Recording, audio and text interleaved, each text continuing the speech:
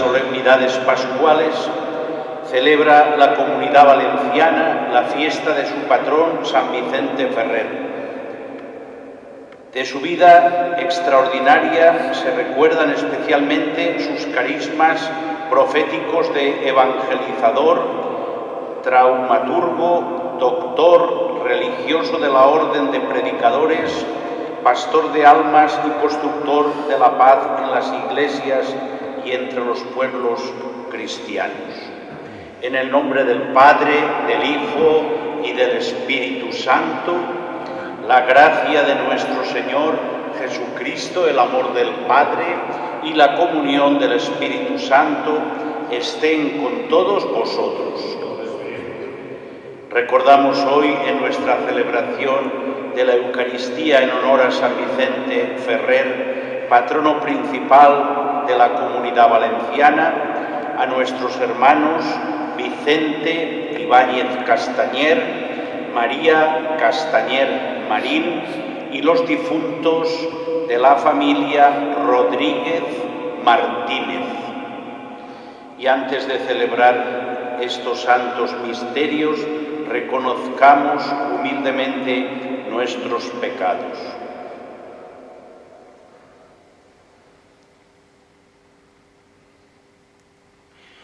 Yo confieso ante Dios Todopoderoso y ante vosotros, hermanos, que he pecado mucho de pensamiento, palabra, obra y omisión.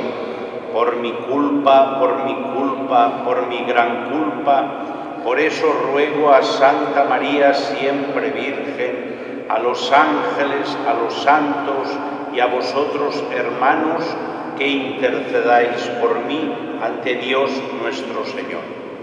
Dios Todopoderoso tenga misericordia de nosotros, perdone nuestros pecados y nos lleve a la vida eterna.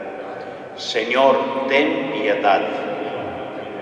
Cristo, ten piedad. Señor, ten piedad. Gloria a Dios en el cielo y en la tierra paz a los hombres que ama el Señor. Por tu inmensa gloria te alabamos, te bendecimos, te adoramos, te glorificamos. Te damos gracias, Señor Dios, Rey celestial, Dios Padre Todopoderoso, Señor Hijo único Jesucristo, Señor Dios, Cordero de Dios, Hijo del Padre tú que quitas el pecado del mundo, ten piedad de nosotros. Tú que quitas el pecado del mundo, atiende nuestra súplica.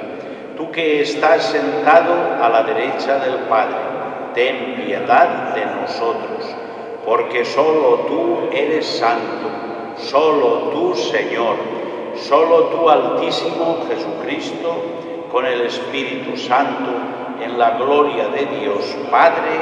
Amén. Oremos. Oh Dios que elegiste al presbítero San Vicente Ferrer, ministro de la predicación evangélica, concédenos que veamos reinando en el cielo a quien él anunció como juez futuro en la tierra por nuestro Señor Jesucristo, tu Hijo, que vive y reina contigo en la unidad del Espíritu Santo y es Dios por los siglos de los siglos. Amén.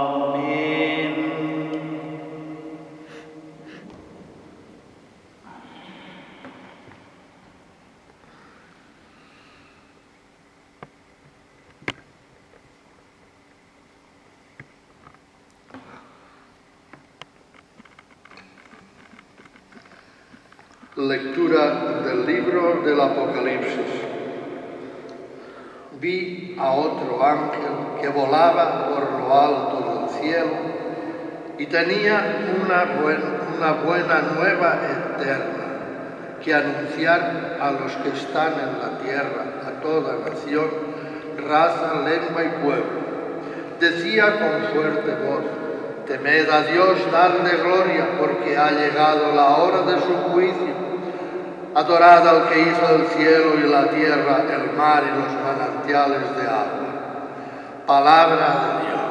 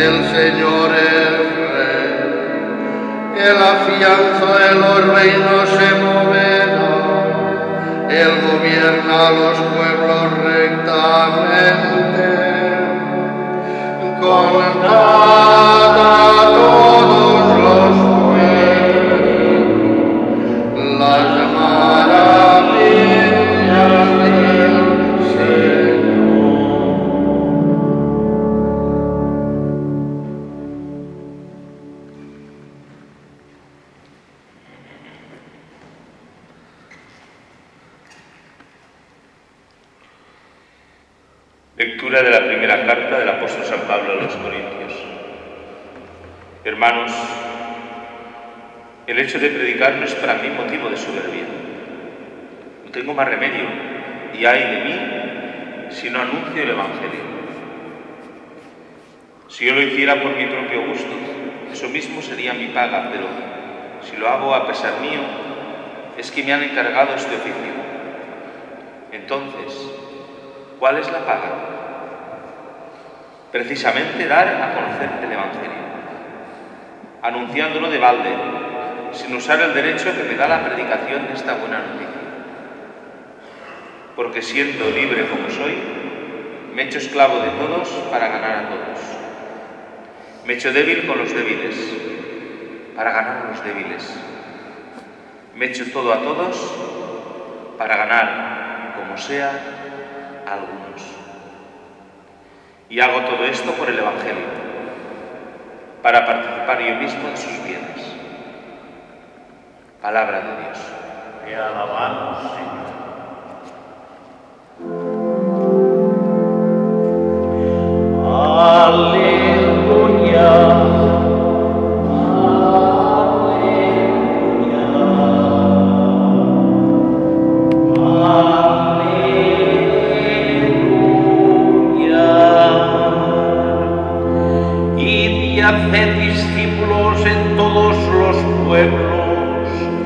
Enseñándoles a guardar todo lo que os he mandado. Aleluya. Aleluya. Aleluya.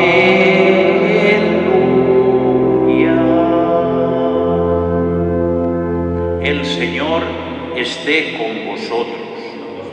Lectura del Santo Evangelio según San Marcos. En aquel tiempo se apareció Jesús a los once y les dijo, Id al mundo entero y proclamad el Evangelio a toda la creación.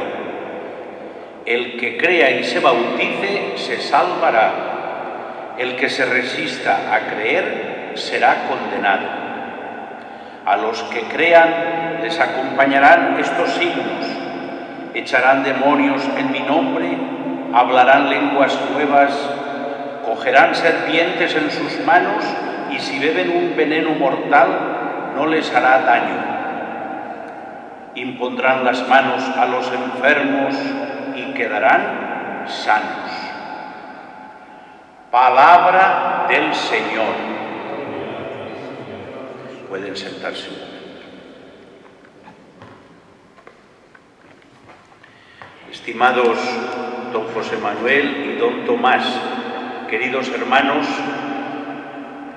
que por el canal Televisión 4 de Segorbe seguís esta celebración de la Eucaristía en la fiesta de San Vicente Ferrer, patrono de nuestra comunidad valenciana. San Vicente Ferrer, del cual vamos a hacer una pequeña cronología y un esbozo de su figura tan atrayente para todos y cada uno de nosotros, especialmente los que vivimos dentro de este, de este reino de la comunidad valenciana, debe de ser para todos y cada uno de nosotros un modelo siempre a imitar. Quiero recordar que el año pasado, tal día como hoy, se clausuraba un año jubilar que toda nuestra archidiócesis dedicó a contemplar, estudiar y, e investigar la figura de San Vicente Ferrer. Nació en la calle del Mar, en Valencia, un 22 de enero de 1350. Sus padres se llamaron Guillem Ferrer y Constanza Miquel. El 17, unos años después, el 17, exactamente el 17 de diciembre del año 1318, entró en el convento de los padres predicadores o dominicos, donde formaron a este personaje, a esta gran figura, dentro de lo que eran las órdenes mendicantes, los padres franciscanos, los padres dominicos y después se añadieron los padres carmelitas. Fue, dice la historia, el gran apóstol de Europa. Muchas naciones y países conocieron sus palabras casi siempre en valenciano.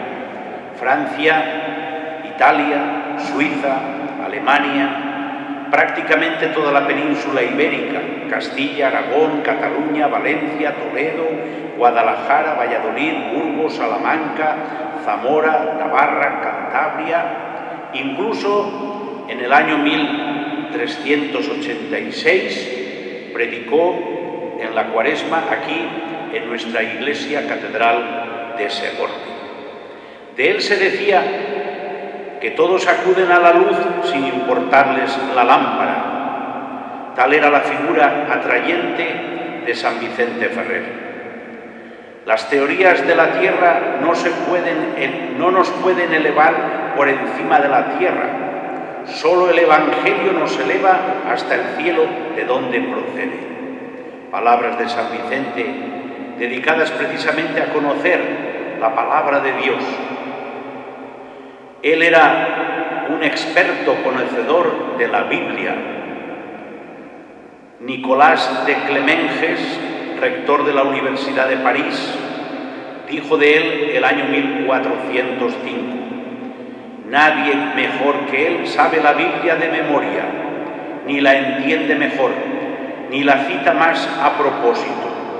Su palabra es tan viva y tan penetrante que inflama como una tea encendida los corazones más fríos. Fue un predicador científico vital. Su palabra académica y religiosa conjuntamente era escuchada por todos aquellos que acudían a oír sus sermones. Fray Federico de Amberg, un padre suizo, escribe de él que con su ardiente palabra de los alejados hacía cristianos y de los cristianos santos. La primera parte de su vida fue predicada en latín, tratados doctrinales, como el tratado de la vida espiritual. La segunda parte de su vida fue siempre en valenciano, la mayoría de sus sermones. Hay dos momentos importantes en la vida del santo que hay que resaltar.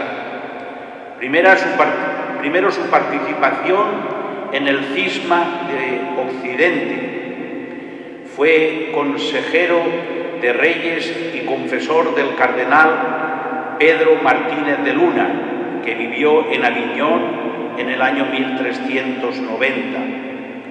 Muerto Gregorio XI en Roma el año 1377, suceden en Roma el Papa Urbano VI y en Aviñón, residencia estival de los papas, Bonifacio IX.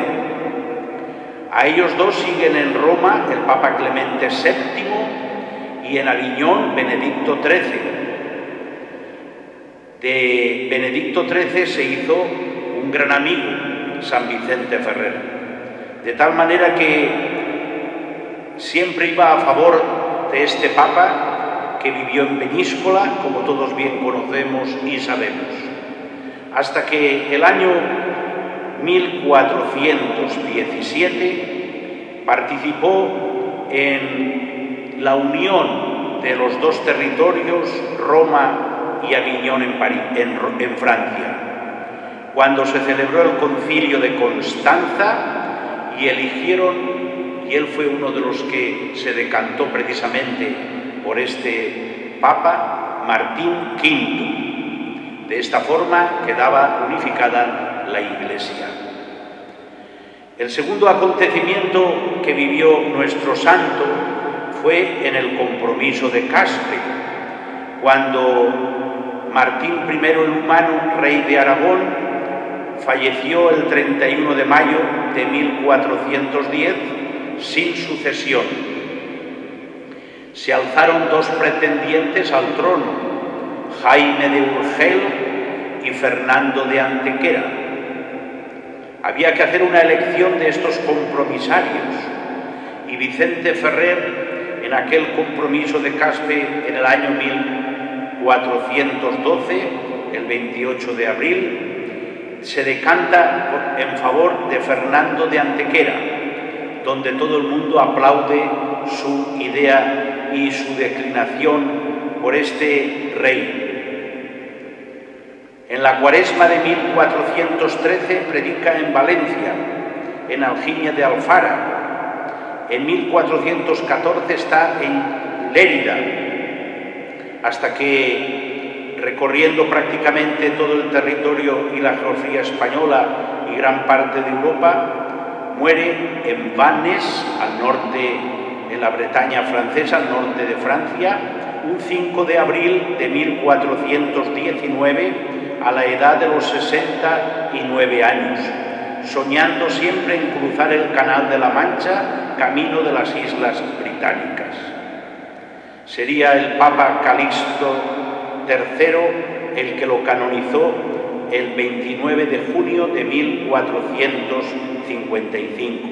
Luego sería Alfonso de Borja sería este papa que acabo de nombrarles, Calixto III. La fiesta es siempre litúrgicamente el 5 de abril, pero como se veía que el 5 de abril cae siempre en plena cuaresma y no se podía celebrar, el Papa Clemente VIII en 1594 concede se celebre el lunes de la segunda semana de Pascua. Con estos datos nos daría un semblante de lo que es la figura de San Vicente de Ferrer, San Vicente Ferrer. Un hombre que, como hemos escuchado en la segunda lectura, ay de mí, decía San Pablo, si no anuncio el Evangelio. Él se lo tomó muy en serio, después de conocer a fondo a Jesucristo, al Señor, que es el personaje central, que es el núcleo de la palabra de Dios, se dedicó precisamente, después de conocerlo minuciosamente bien, a divulgarlo y a predicarlo incansablemente hasta el final de sus días. Y siempre con esa intención que nos relata la primera lectura, temed a Dios y dadle gloria, son las palabras de San Vicente Ferrer en ese, en ese laureado corona que él tiene sobre su cabeza, ¿verdad? Donde con el dedo en alto nos está indicando precisamente que contemplemos también nosotros la gloria de Dios. Que no le temamos, sino que lo respetemos para darle gloria y honor como se merece, siempre y a todas horas. Es lo que nosotros ahora, confinados en casa, podremos hacer con una mayor, yo diría, dedicación, con, una mayor, con un mayor tiempo para conocer, para amar la oración en la palabra de Dios. Y si San Vicente fue un personaje muy conocido, es por sus milagros que él realizó a lo largo de su vida. Yo brevemente voy a relatarles tres que me parecen, pues yo, los más significantes. Eh, en el proceso de su canonización se recogieron hasta 860 prodigios o milagros obrados por el predicador dominico en vida y después de morir, que escrupulosamente comprobaron los jueces del proceso. El primero fue, yo diría, el milagro del tendero, el milagre del salser. Fue en el año 1359 el comerciante en especies Miguel Garrigues, que vivía en la misma calle de Los Ferrer, tenía un hijo que sufría unas úlceras malignas en el cuello y de las que le curó el también niño Vicente.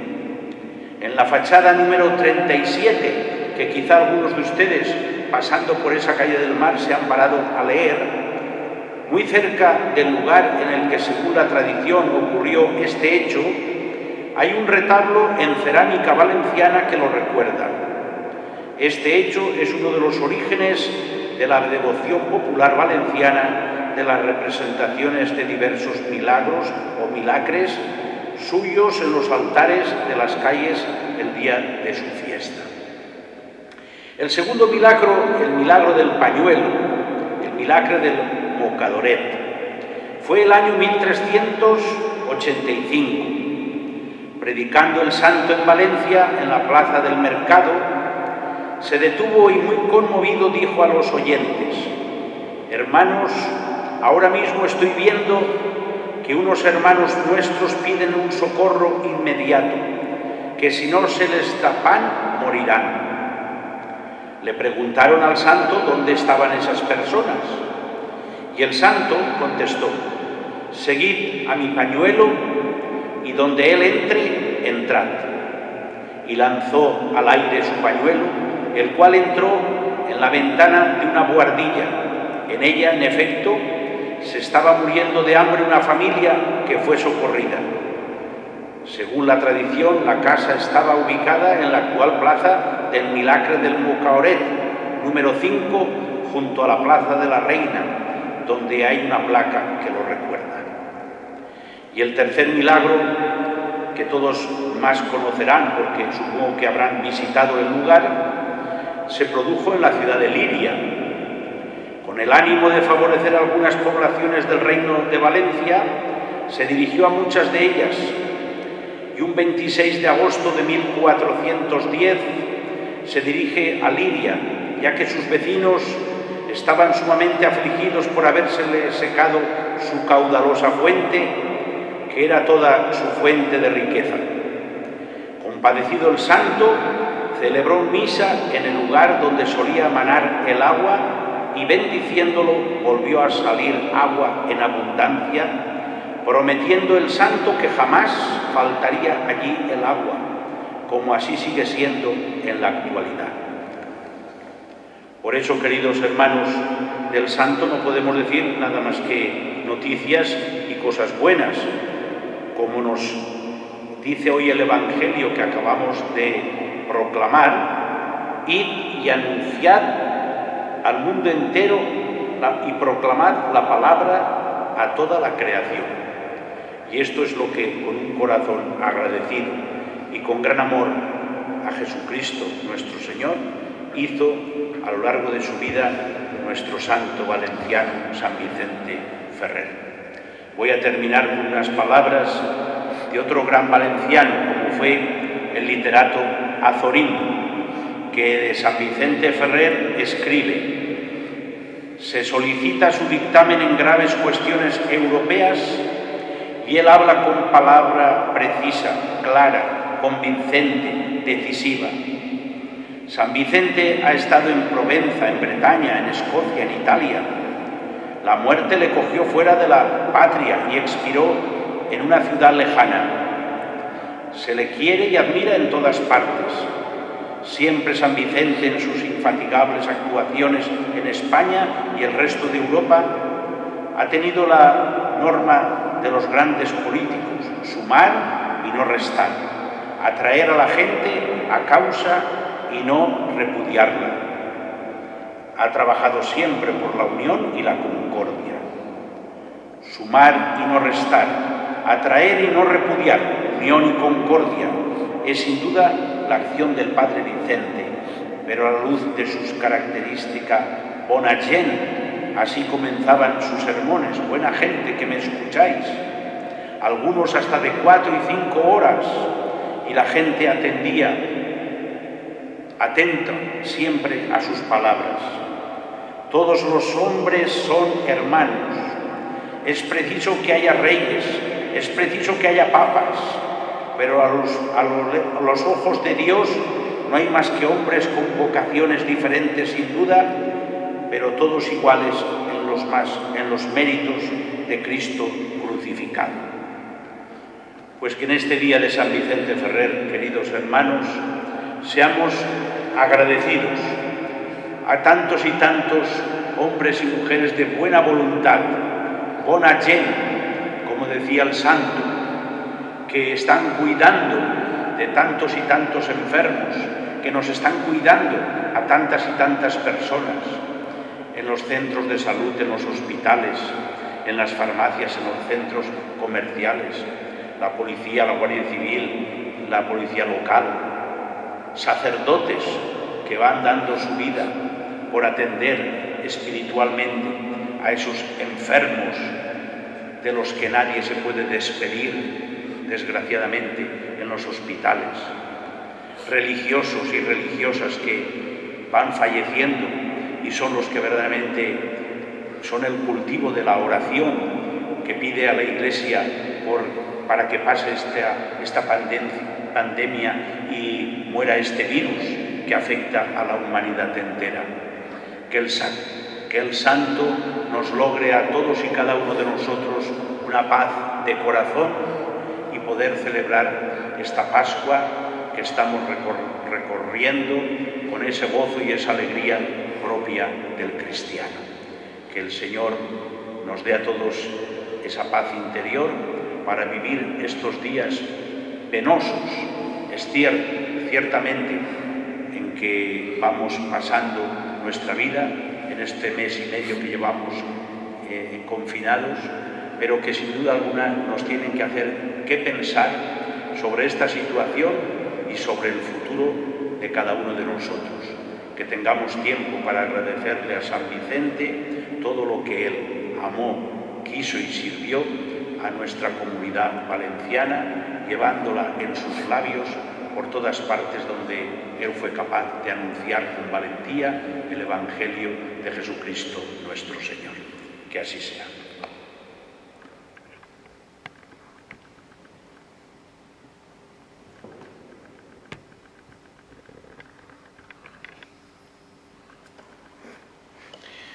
Y por intercesión del Santo, presentemos a Dios Padre humildemente nuestras peticiones y oraciones en favor de la Iglesia.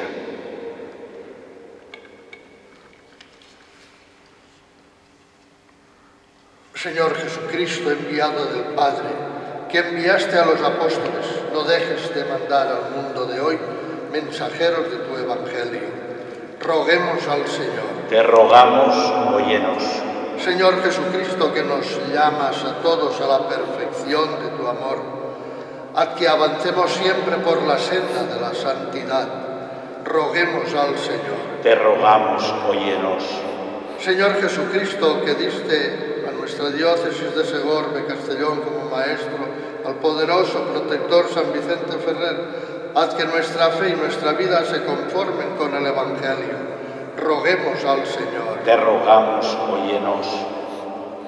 Pidamos también por los difuntos víctimas del coronavirus, para que Dios les dé el descanso eterno, por los enfermos, que recuperen pronto la salud, por los científicos, personal médico, de enfermería y responsable sanitario, para que el Señor les fortalezca en su tarea y se encuentre pronto el remedio para combatir este mal. Roguemos al Señor. Te rogamos, óyenos. Señor Jesucristo, que por medio de los santos pastores eres el médico de los cuerpos y de las almas, haz que nunca falten a tu iglesia los ministros que nos guíen por las sendas de una vida santa. Roguemos al Señor. Te rogamos, óyenos.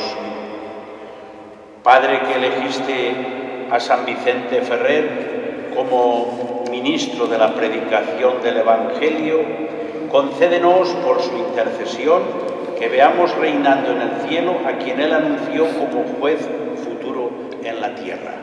Por Jesucristo nuestro Señor. Amén.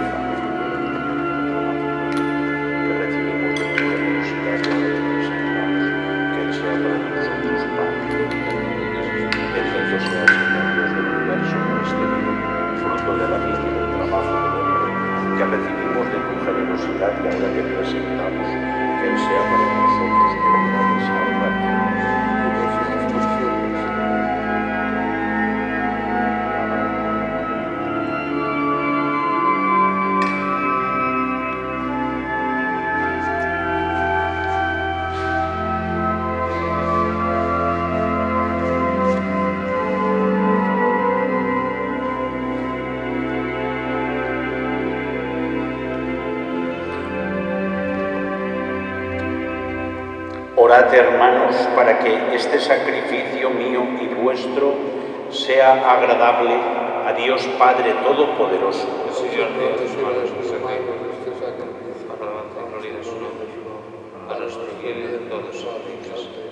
Al celebrar en este día las- la fiesta de nuestro patrono San Vicente Ferrer, te pedimos, Señor, que recibas esta ofrenda y nos dispongas tú mismo a participar dignamente de estos santos misterios. Por Jesucristo, nuestro Señor. El Señor esté con vosotros. Levantemos el corazón. Demos gracias al Señor nuestro Dios. Es justo y necesario. En verdad es justo y necesario es nuestro deber y salvación darte gracias siempre y en todo lugar. Señor Padre Santo, Dios Todopoderoso y Eterno, por Cristo Señor nuestro. Porque no dejas de llamar nuevos anunciadores del Evangelio y hallaste en San Vicente Ferrer un servidor de la paz y un maestro del pueblo cristiano que es instruido con su doctrina y protegido con su intercesión. Por eso ahora nosotros llenos de alegría, con los ángeles y los santos, te aclamamos diciendo, Santo, Santo, Santo es el Señor, Dios del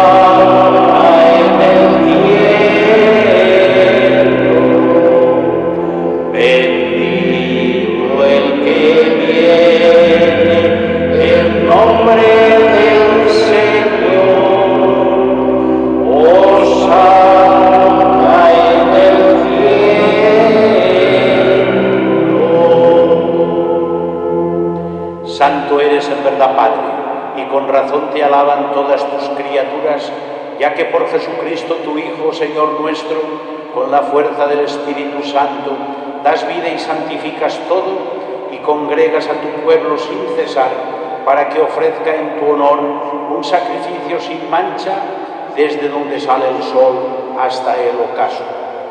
Por eso, Padre, te suplicamos que santifiques por el mismo Espíritu estos dones que hemos separado para ti, de manera que se conviertan en el cuerpo y la sangre de Jesucristo, Hijo tuyo y Señor nuestro, que nos mandó celebrar estos misterios, porque él mismo la noche en que iba a ser entregado, tomó pan y dando gracias te bendijo, lo partió y lo dio a sus discípulos diciendo, tomad y comed todos de él, porque esto es mi cuerpo que será entregado por vosotros.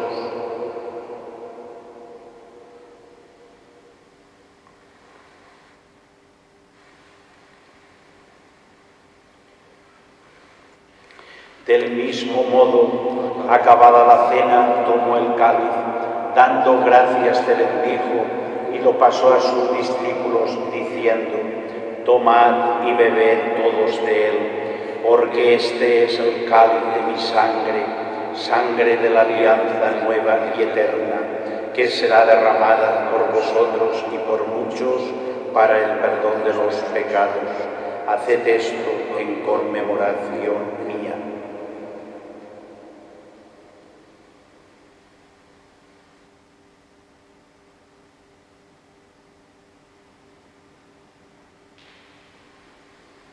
Este es el sacramento de nuestra fe. Anunciamos tu muerte, proclamamos tu resurrección. Ven, Señor Jesús. Así pues, Padre, al celebrar ahora el memorial de la pasión salvadora de tu Hijo, de su admirable resurrección y ascensión al cielo, mientras esperamos su venida gloriosa, te ofrecemos en esta acción de gracias el sacrificio vivo y santo. Dirige tu mirada sobre la ofrenda de tu iglesia y reconoce en ella la víctima por cuya inmolación quisiste devolvernos tu amistad, para que, fortalecidos con el cuerpo y la sangre de tu Hijo, y llenos de su Espíritu Santo, formemos en Cristo un solo cuerpo y un solo espíritu. que Él nos transforme en ofrenda permanente, para que gocemos de tu heredad junto con tus elegidos, con María, la Virgen Madre de Dios, su esposo San José, los apóstoles, los mártires, San Vicente Ferrer y todos los santos por cuya intercesión confiamos obtener siempre tu ayuda.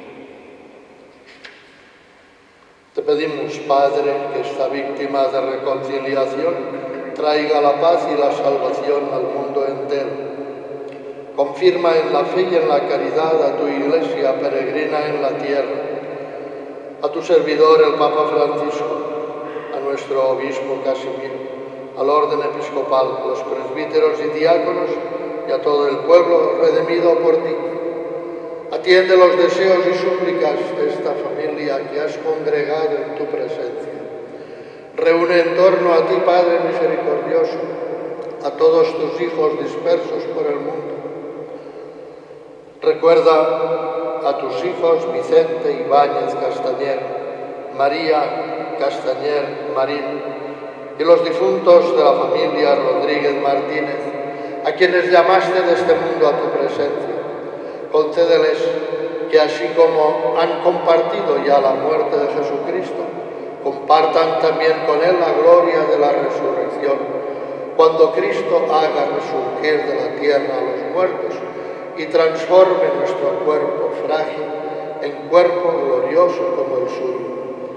Y a todos nuestros hermanos difuntos y a cuantos murieron en tu amistad, recíbelos en tu reino donde esperamos gozar todos juntos de la plenitud eterna de tu gloria. Allí enjugarás las lágrimas de nuestros ojos, porque al contemplarte como tú eres, Dios nuestro, seremos para siempre semejantes a ti y cantaremos eternamente tus alabanzas. Por Cristo, Señor nuestro, por quien concedes al mundo todos los bienes. Por Cristo, con Él y en Él, a ti Dios Padre Omnipotente, en la unidad del Espíritu Santo, todo y toda gloria por los siglos de los siglos. Amén. Llenos de alegría por ser hijos de Dios, digamos en confianza la oración que Cristo nos enseñó. Padre nuestro que estás en el cielo, santificado sea tu nombre, venga a nosotros tu reino, hágase tu voluntad en la tierra como en el cielo. Danos hoy nuestro pan de cada día, perdona nuestras ofensas, como también nosotros perdonamos a los que nos ofenden no nos dejes caer en la tentación y líbranos del mal. Líbranos de todos los males, Señor, y concédenos la paz en nuestros días, para que, ayudados por tu misericordia, vivamos siempre libres de pecado y protegidos de toda perturbación, mientras esperamos la gloriosa venida de nuestro Salvador Jesucristo.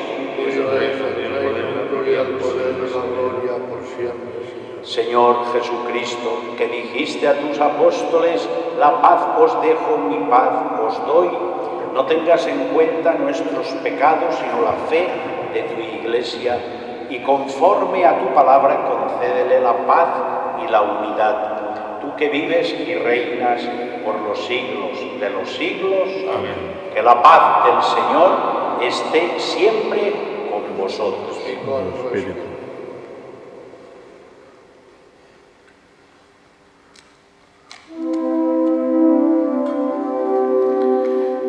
Cordero de Dios, que quitas el pecado del mundo, ten piedad de nosotros. Cordero de Dios, que quitas el pecado del mundo, ten piedad de nosotros.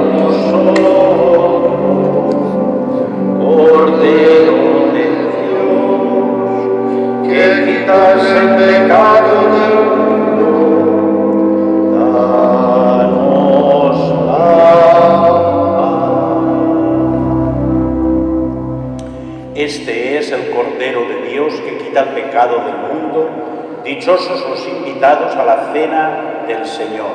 Señor, no soy digno de que entres en mi casa, pero una palabra tuya